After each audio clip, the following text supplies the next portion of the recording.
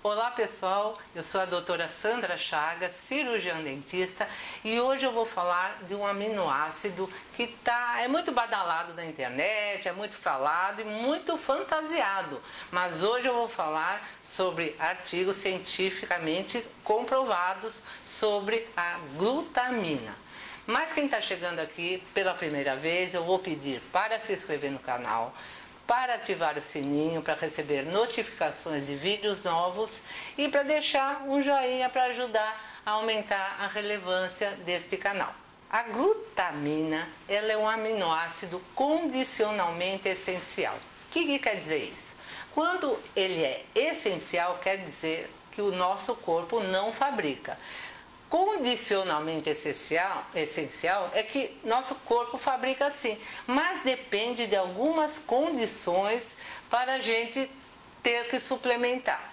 Por exemplo, pessoas que têm sarcopenia, queimados, problemas cardíacos e do fígado, lesões como fraturas. Então, essas pessoas precisam de mais glutamina. O que o corpo fabrica não é suficiente e é numa velocidade inferior ao que o organismo precisa. Ela é fabricada através de outros aminoácidos, como a valina, isoleucina e o ácido glutâmico. Quais são as funções? Bom, a imunidade aumenta bastante com o uso da glutamina. Então você fica com defesas aprimoradas contra bactérias, vírus, protozoários. Ela também, através do glutamato, fabrica a glutationa peroxidase, que é um potente antioxidante e elimina radicais livres. Melhora bastante a microbiota intestinal, evita a hipermeabilidade intestinal porque ela recupera os enterócitos. Enterócitos são células da nossa parede intestinal. Então elas são bem juntinhas. Mas quando você come glúten, por exemplo, ou outra condição, essas células se separam e a parede fica assim mais permeável, ocasionando passagem de toxinas, pedaços de proteínas, coisas que não deveriam passar, e deveriam ser filtradas. Então, a glutamina, ela recupera isso daí e protege contra uma desbiose, por exemplo. E o fator principal que muita gente fica na internet querendo tomar porque ficam falando bastante é o anticatabolismo. Ela impede a quebra da proteína muscular. Com isso, ela evita uma perda de massa muscular porque ela é anticatabólica.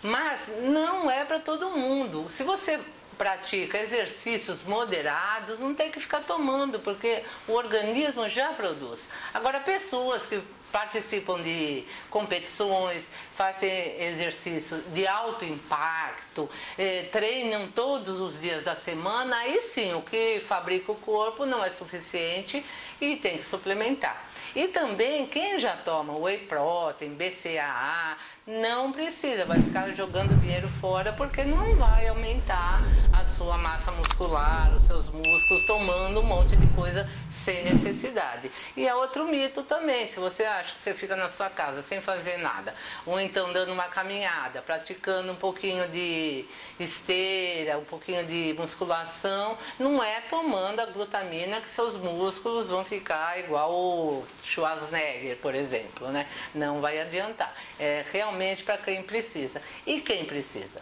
Pessoas que têm essas condições patológicas, como eu falei, sarcopenia, problemas de fígado, cardíaco, queimados, pessoas que têm desbiose, esses é, competidores de alto impacto, de exercícios muito extenuantes e pessoas acima de 40 anos, que é onde ela começa a decair.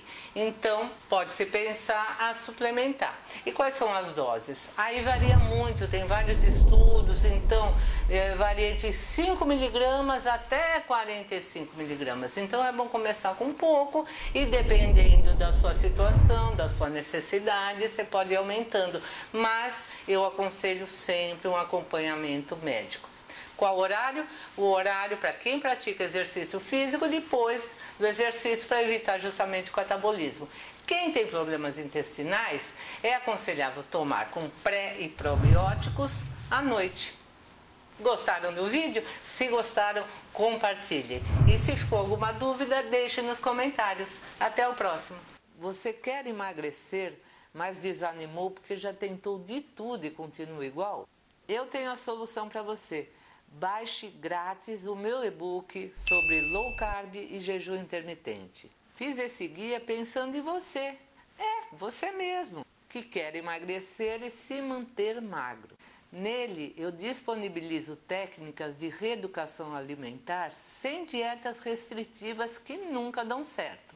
Lá você vai aprender a comer corretamente, gostoso e principalmente sem passar fome. E para incrementar ainda mais o seu emagrecimento de uma forma sustentável e sem volta, sem aquele efeito sanfona, eu vou te ensinar a fazer um jejum intermitente com todos os protocolos. Corre lá no link da descrição e baixe já. Até breve!